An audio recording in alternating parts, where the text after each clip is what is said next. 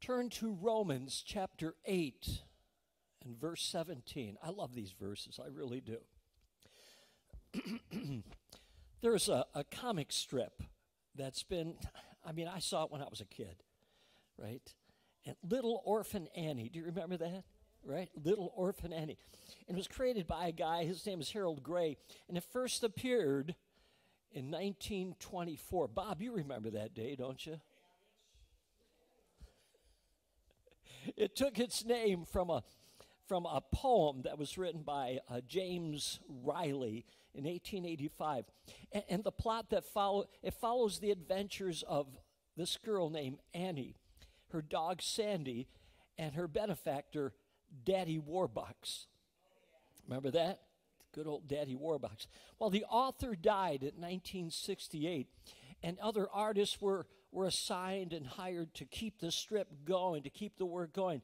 And it inspired a radio program, two black and white movies, a Broadway musical called Annie, and three major films. And, and, and the, the story about Annie, it's a, it's a story of optimism and, and, and hope and of the surprising turns that life takes and the power of love that softens crusty old hearts. Dave, you remember that, don't you? I'm hateful at times. And he teaches us this one thing the sun will come out tomorrow. Bet your bottom dollar that tomorrow there's going to be sun. You know, the Bible reminds us that we were orphaned because of sin. And we've been separated from our Creator ever since Adam and Eve's fall in the garden. But God finds us where we are and adopts us into his family. What a great story. And it's real. In the book of Second Peter, God has given us great, this is what it says God has given us great and precious promises so that through them you may participate in the divine nature some of these promises, first of all, you're stamped with God's image. We've talked about this before. You're an image bearer. When you leave this building, go out and be an image bearer before people, be, folks down here in, in, in, in greater Orwell. You reflect God's image. And the Bible teaches us that we are fearfully and wonderfully made. In other words, we reflect God's image. Another promise is that, I love this one, Satan's days are numbered. Satan in the Word of God is portrayed as a roaring lion. And he works overtime in an attempt to take us down with him. Romans chapter 16 says, The God who brings peace will soon defeat Satan and give you power over him. That's a promise. Count on, take it to the bank. And believe it or not, the check is cleared already. Today's promise is this we are heirs of God. And the key verse here is Romans chapter 8, verse 17. Let me read it for you.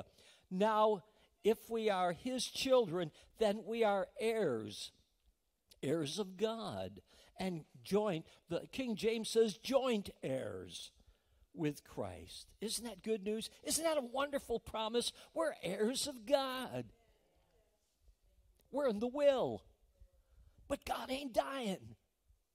But we still have ownership of everything that He owns. Everything that Jesus is in possession of is our possession as well. Let's pray together. Father, in Jesus' name, we ask that you bless your word this morning. You've promised that if it goes out, it won't come back empty or void of fruit. Open hearts, open ears, open eyes. In Christ's holy name, amen. Many folks this morning have made a public profession of faith. And we claim to be followers of Jesus. But you know, we live in a fallen world, don't we, Virginia? We live in a fallen world. This place is messed up. If you haven't noticed that, go out every now and then, and you'll see that we have an issue. This world is in deep stuff. We live in this fallen world, and it's easy to forget who we are. It is. That's what we do communion. Jesus said, Do this in what? Remembrance of me. Why? Because we forget. We get inundated with so many other thoughts, and, and by the time you get to a, some place in your life, uh, we were talking about this the hard drive gets full. And it's easy to forget even important things. This morning, I'd like for us to think about what it means to be His heir and how it shapes the way in which we live. I'll do that. Remember, again, a good message has how many points? Three. this one is no different. It has three points. The first one is, is who we were. Who were we? Romans 8, chapter, uh, or chapter 8, verse 14, 15 tells us, For those who are led by the Spirit of God are the children of God. The Spirit you receive does not make you slaves, so that you live in fear again. In fear again. Paul is reminding the Romans what their life was like before they came to Christ. Maybe some of you will remember this. Now they were currently living as God's kids, but before that they lived as slaves. They weren't slaves like to an earthly master, but they were slaves to the power of sin and Satan. That's right. I heard a story about a, a young boy named Joey. Joey. Joey was physically abused by his mother. His father had been in prison all of his life. And his mother was a drug addict. She'd been in and out of county jail. And at times, Joey was beaten.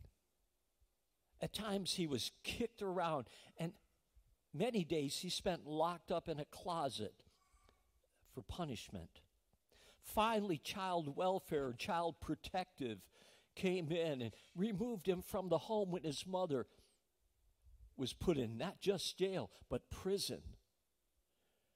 And they found foster care for him. And eventually, because he had been removed from his mother permanently, he was adopted by a, a wonderful, loving family. He'd never seen anything or experienced anything like this. And so, as a result, he never bonded with his new family. He cried and he begged to go back and to live with his mother. Back a few years ago, a young girl was killed down in Palermo. Do you remember that? The sheriff had come into that house many times. One time, uh, taking the father out, and, and the girl was on the floor holding her father's leg, saying, Don't take my daddy away. Even though she'd been sexually abused, she had been beaten, she'd go to school with marks. She didn't want to leave that place. Don't take my daddy away. Pretty soon, his beca- behavior was disruptive. He became violent. And his siblings, his new brothers and sisters, he was hurting them and beating them. He, he was destroying property.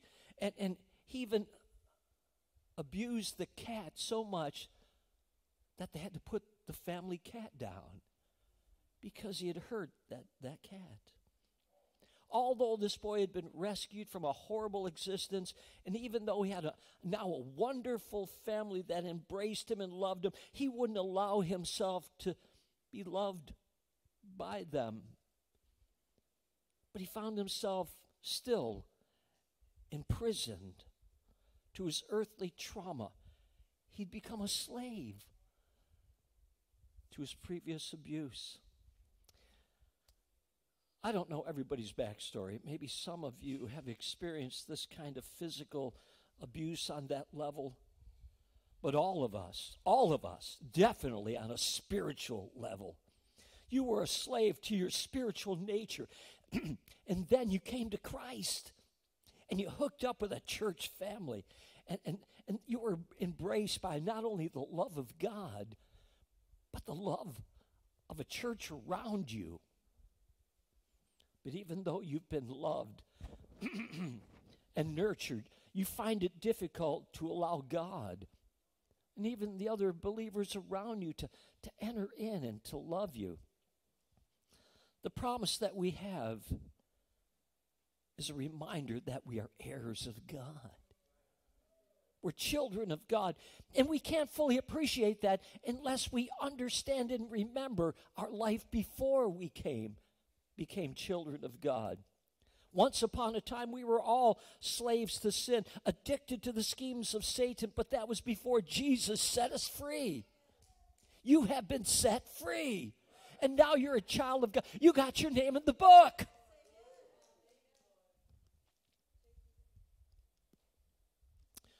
Number two, we've just heard how or who we were. Now, this point is who we are currently, right now. Our theme verse is Romans 8. Now, verse 17 now, if we are his children, then we are heirs, heirs of God, and co heirs with Christ. A, a, church that we administered at many, many years ago in a place called Cherry Log, Georgia.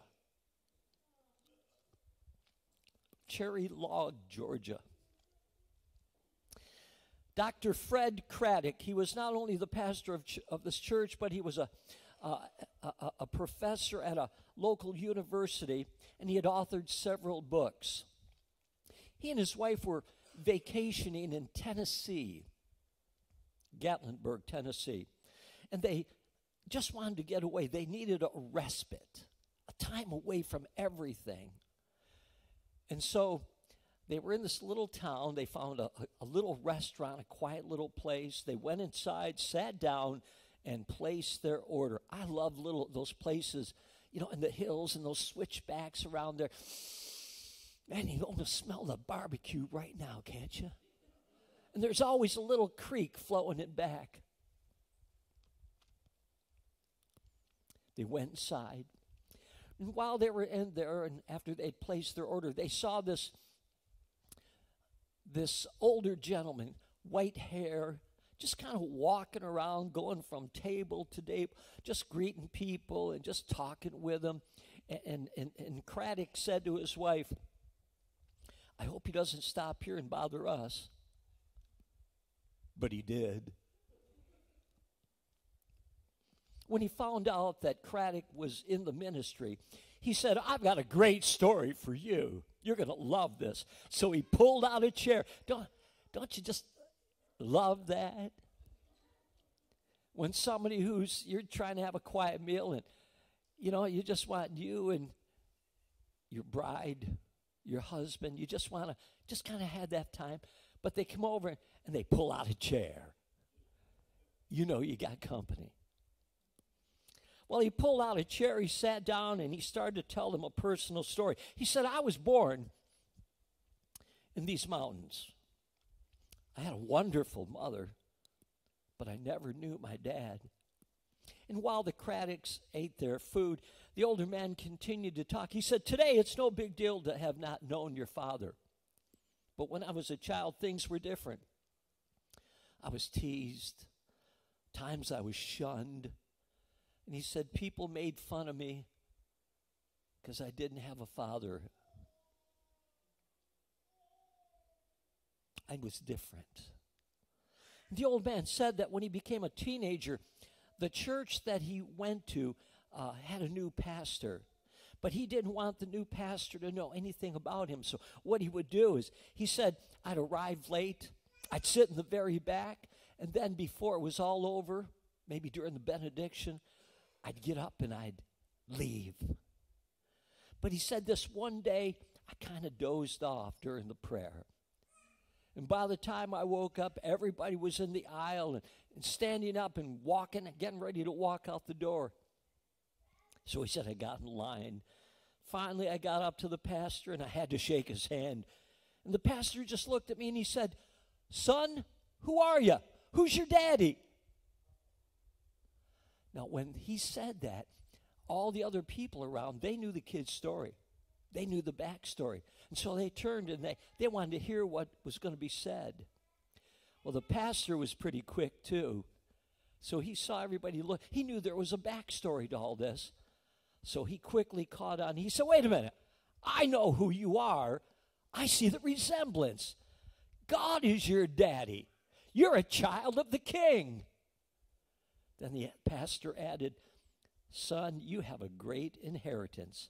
All you got to do is claim it for yourself. That old man talking to the Craddocks just kind of paused for a minute. And he said, That's the single most important thing, sentence that's ever been said to me. And with that, the old man stood up, smiled, and, and shook Reverend Craddock's hand, and he said goodbye and he walked away. The server came over to give him their check, and Reverend Craddock said, Who was that man? Who was that guy? And the server said, Why, everybody knows Ben Hooper. Ben Hooper's the, the governor of Tennessee. I have goosebumps now on both arms. That's a double arm goosebump provider right there. You see, knowing who he was changed Ben Hooper's life. The Bible says that we're no longer slaves to sin. We are children of the king. We are royalty. Just like uh, Randy Alcorn said the other day. He said, I'm royalty because my father's a king. I'm an heir of God. And we need to claim our inheritance. Somebody has said that there are no orphans in heaven, there are no stepkids in heaven. We are all that know him part of God's family. For, for many years after a concert or at the end of a concert, uh, we would sing a song by Bill Gaither, a part of a song, just to end it. And, and it's, it's a Bill Gaither tune, and it goes something like this. So if, please forgive my voice, you can hear it. And it would go something like From the door of an orphanage to the house of a king, no longer an outcast, a new song I sing. From rags unto riches, from the weak to the strong, I'm not worthy to be here but praise God, I belong. I'm so glad I'm a part of the family of God. I've been washed in the fountain, cleansed by his blood. Joint heirs with Jesus as we travel this sod. For I'm part of the family Yes, yes, yes. What great singers you are. You know, today in this world with our with our styles of music and our tunes, the the song sounds a little corny. Not to me, but I'm sure we couldn't really do it in a youth meeting. But theologically, that song is right dead on. You know, there are two ways to enter a family. You can be born into a family, but being born into a family, you can't, you can't choose when you're going to be born. You can't choose who you're going to be born as, and you can't choose the family you're born into. But we do choose whether we love and honor our family. The second way is through adoption. Adoption. I've experienced this. 1 John 3 1 the old apostle writes, Behold, what manner of love the Father has bestowed upon us that we should be called the children of God. And that's what we are. A church that we used to, we've ministered at so many churches, Sonny. We, we really have. In Indiana, it was pastored by uh, uh, uh David Stokes. Dave told me we were just chatting together in his office. He told me that he was adopted and he had never, ever met his birth mother. He'd never looked for her. He really had no interest in finding his birth mother. And it wasn't because he was bitter. He didn't know her, he, he couldn't talk badly about her. And he thought she probably had, whatever the reasons were, he just didn't know. But because the man and the woman raised that raised him, they loved him. They raised him and they were his mother and his father. As the adopted children of God, we are heirs. And that gives us the right and the privilege to call God this Abba. There you go. You're way ahead. You've seen this already, haven't you? Did I send y'all a copy of this? Abba. That's the Aramaic word for daddy. For daddy. You know, I said earlier that I've had, when I was a uh, just a, a, young kid, uh, um, you know, in elementary school, I had a nickname. They called me Green Bean. They did. We all had nicknames. When I went into high school, I had a nickname. They called me Pie. I don't know where that came from. I, I don't, but they called me Pie. You know, and again, when Emma was born, and as time went along, she started calling me Poppy. And now to my our grandkids, I'm Poppy, every one of them. And, and so, what a precious name. But I'll tell you what, the name that I appreciate probably the most is the, the word daddy. Daddy. Uh, our three sons are all adults. Our oldest is 45. 45. I told, I told Chris the other day, our middle son, I said, you know, when I look in the mirror and I see, you know, you just he changes. What do you do? And, you know, and I see every now and then I find a gray hair. What? Bill, can you believe these people? Did you? But I, I, told Chris, I said, I don't feel old. But when I look at you guys and I see you're getting gray hair, I feel old. That's, that's just it, right? And, and so, Abba, Father, what a very tender word, a word of per, uh, personal tenderness. It's a t- term of endearment. In the book of Romans, the Bible says, Paul said, The Spirit you received brought about your adoption, and by him we cry, Abba, Father. Isn't that great? We can call the creator of everything Daddy. Now, to us, it seems kind of kind of light, kind of easy. But that word Abba, that's what it means. It's, it's a personal uh, term, a personal tie. Abba. In some way, I think uh, Spanish, maybe. I don't know Spanish, but uh, you remember Mark Gibson, right? He's, he's ministered here before. Just after the service, we're going to meet him down in Syracuse, he and Debbie, his wife, and, and we're going to have lunch with him. And their, some of their grandkids call, him, call her Abi, which must be the feminine side of, de, uh, you know, of Abba, right? I don't know Spanish, so I can't say that for sure. But Abba's the voice of the child who calls for her daddy when she wakes up at 3 o'clock in the morning because of the threat of the boogeyman. I heard about a little girl, she began to cry one early morning. She called her daddy, I'm thirsty, daddy. The father patiently, he had to get up in a couple of hours to go to his job. But he got up and he walked to the kitchen. He got his little girl a glass of water. Then he kissed her and he tucked her back into bed, and said goodnight again. Several minutes later, she began to cry again. I'm thirsty, she said. And so he got up and he got her a second drink of water and tucked her again into bed. Well, a few minutes later, she began to cry again. This time the father's kind of, he's a little bit more impatient. And he, and he kind of snaps and he said, You've already had two drinks of water. If you get thirsty again, I'm going to come in and give you something to get thirsty about. now go back to sleep. Well, about five minutes pass by.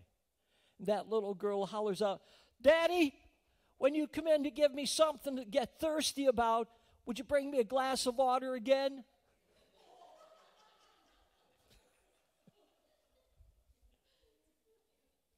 Before Christ, we were slaves to sin. And once we fell into a sinful lifestyle, we just couldn't stop ourselves. We couldn't do it. Kind of like we've all heard the story of the pig, right? Right?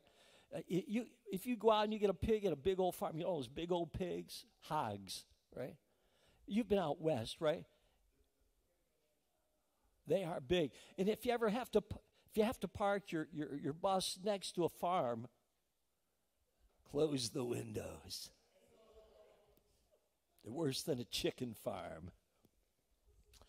But, but say you went out and you got a big old pig that had been covered in mud, and you, you hose it off real good, and you get under its arms and in its belly, and then you bring it inside and you put it in a soapy, you know, a tub of water, and you wash it real nice, and, and you get it so nice and clean, and, and then you put some cologne all over it, right? And then you bring in this, an expensive tuxedo and you dress that pig up in that tuxedo, well, it looks like it's getting ready to go to a, a prom or something. But I guarantee you, if you open a door, that pig is going to run out and do a cannonball in the first mud pile it sees. That's what we were. We couldn't help ourselves. But God, praise His name, sent His Son to become our Savior, our Redeemer, our Justifier, and He adopted us into His family. And what is His is now mine and yours. The first adoption recorded in the Bible, anybody know? Moses. Moses. Pharaoh was becoming threatened by the increasing population of the Israelis in Egypt. So he, he pulled this thing off, kind of like a Herod deal, where he's going to now kill all these children, these newborn male children. He's going to exterminate them. So the mother of Moses, what she did is she fashions a, a, a waterproof uh, uh, basket. And she puts Moses in it and puts him in it and, and puts him in the Nile. Well, to us, that sounds just as dangerous, but she figured he had a better chance in the Nile than he had with the Pharaoh. Well, you know, God does what he wants to do. God had a plan. And that basket of a baby, baby in a basket, sounds like a lunch at, you know, no, never mind. Baby in a basket with fries, right? No, I'm sorry. Maybe to a crocodile in there, I don't know but the baby's floating down and kind of gets caught in the, in the bulrushes. And guess who finds him? Actually, it was a servant girl, but uh, we're going to say Pharaoh's daughter because he, he was turned over to Pharaoh's daughter. And Pharaoh's daughter found him, adopted him as her own, and raised him in the palace. And God's plan was this that that Moses, that young baby, was going to grow up and lead God's people out of Egypt and to the promised land another adoption took place. A woman by the name of Esther. How many have heard of Esther? You've heard of Esther. When Esther's parents died, she was adopted by anybody know? Mordecai. It was an older cousin. And, and he, he loved that little girl as if she was his own. And she grew up, became a fine woman, and she married King Xerxes. King Xerxes. And she became queen of the Persians. And according to God's plan, in that position, she was able to save the Jewish race from a Holocaust, from extinction. One more, Second Samuel, David, King David, right? The same guy with the sling, right? The same guy that I can imagine when he's getting ready to, to, to cap Goliath, and everybody's saying he's too big to fight. And David's going, he's too big to miss.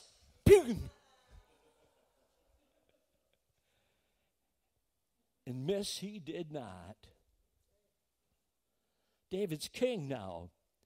And he sees or he hears about the grandson of King Saul, who's now gone, and the son of Jonathan, Saul's son. This young man's name was Mephibosheth. Mephibosheth. Mephibosheth, at the age of five, had, had, had, dropped from the arms of a nurse and had damaged his legs, and he was now disabled for life. He was crippled and he was living in poverty. David heard about him and came to him and took him into the, into the palace. The Bible says in 2 Samuel chapter 9 Mephibosheth lived in the palace, ate at David's table like one of the king's sons. He was adopted into the family, and he now had the benefits as an heir of the king. Paul wrote to, to the Corinthians in his second letter, and he reminded them of God's grace. He said, God, I will receive you. I will be a father to you, and you shall be my sons and my daughters. That's God's promise to you, and you know all about you, and God still takes you in. Point number three who we were, who we are, now who we will be. Our verse 817. Now, if we are children of his children, then we are heirs, heirs of God, and co heirs with Christ. In some cultures, the, the idea of adoption carries with it the, the idea of being a second rate citizen, a second rate status. But that wasn't so in the first century with the Romans. In the Roman culture, an adopted child had great prestige, great position, even great power, even more so than a biological child, because the adopted had been chosen. You know, the child that you get when, when a child is born, you know, sometimes you, you hear it all the time. Uh, is it a girl or a boy? I, I don't know. I don't care. I just want the child to be healthy. Right? That's what we all want. Just a healthy child. But when you have an adopted child, you pick that one out. You pick that one out. Reverend Alan Smith, we sang at a church in Spring Lake, North Carolina. And the story goes like this A new family moved to town, and when VBS rolled around, the parents that had just moved into that town were registering their children, three sons, for VBS. But something just didn't add up. All the birthdays, all the, all the boys were the same age. And all their birthdays were in the same month. And they were all the same age. And so the pastor was talking to him and he said, How'd you do this? They're not triplets, and they weren't born on the same day or even the day after the day before. How'd you do this? Well, the father and mother were there, and the three boys were there, and the father said, My wife and I had had many miscarriages, and we were told we couldn't have children, kind of like us. So we went to an adoption agency, and they happened to tell us that there were two women, two young women, that were expecting children, and they had just found out that they were pregnant. And the father, the uh, man and woman said, We'll take them. Now, they were well known in their community. They had already been vetted, already security checks, and everything that needs to take place. And so they were fast laning this through. Well, about a week later, they went to the doctor and they found out that better be Jesus. Okay.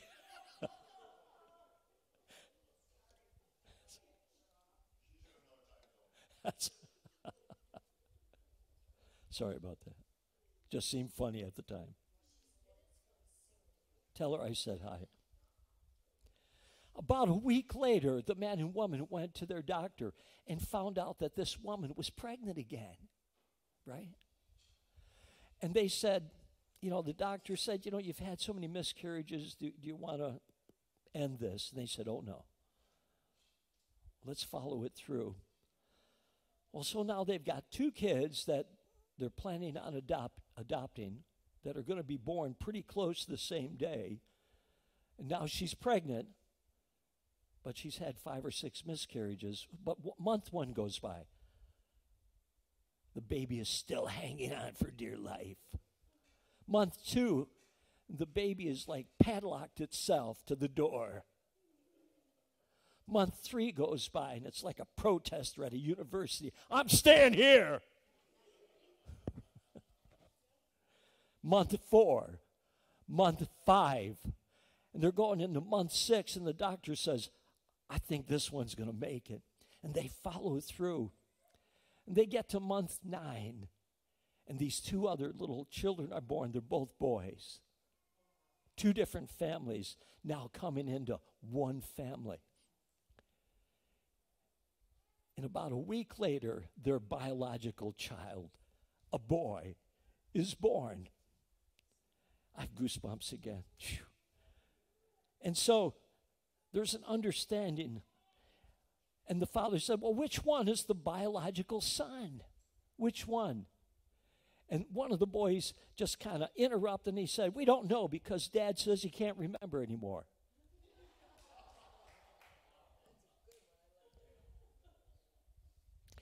These boys, though one is bi- biological and two are adopted, are brothers. That's the way it is in our family. They're our heirs. They're not getting anything. and they're co heirs, just like we're heirs of God and co heirs with Jesus. And what's His is ours.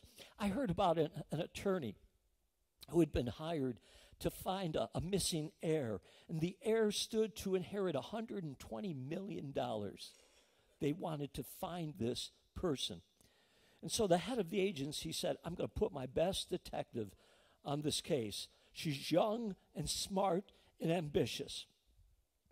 Two weeks later, the attorney receives a call from the female detective. Good news, she said. I found the missing heir. And naturally, he wanted to know where he was. And she said, He's with me in Las Vegas. We'll see you just as soon as we get back from our honeymoon. as God's adopted kids, we share the same inheritance as the only begotten Son of God. Linda and I have a joint checking account. You know what that means? I can go write a check for the full amount of whatever's in our account as long as I no longer want to be married.